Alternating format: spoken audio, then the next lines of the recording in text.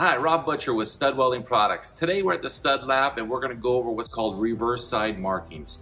So reverse side marking is like one of the number one questions we get at trade shows and customers that are acquiring. And it really comes down to what kind of marks are going to be on the back side of my material once I weld the stud.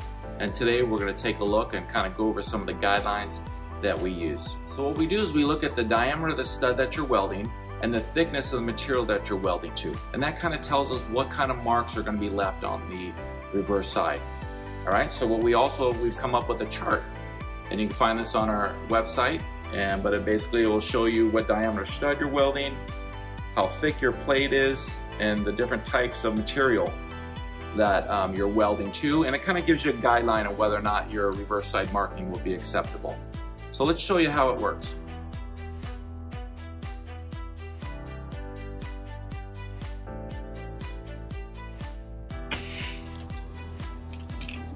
A nice strong weld.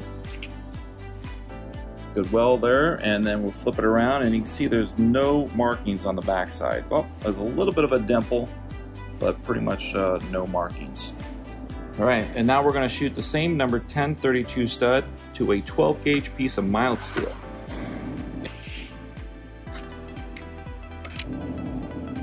And as you see, there's no reverse side markings. So the plate thickness has a a lot to do with whether or not you'll see the marks, but also the size of the stud. If I were to shoot a 3 8 stud, you'd start seeing the marks on there. All right, sometimes you get applications where they're requiring a mirror finish on the backside. So this is protected for now, but we're gonna shoot a stud on a piece of sheet metal that is basically the same thickness as what we did here and got no markings. We're gonna shoot a couple studs here.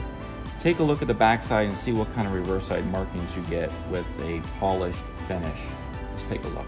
All right, so we're loading up a 1032 stud again.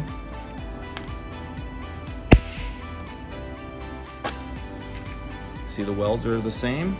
We're using the same voltage, same everything as we did on the last piece. And now we'll take a look and see what the marks are on the backside.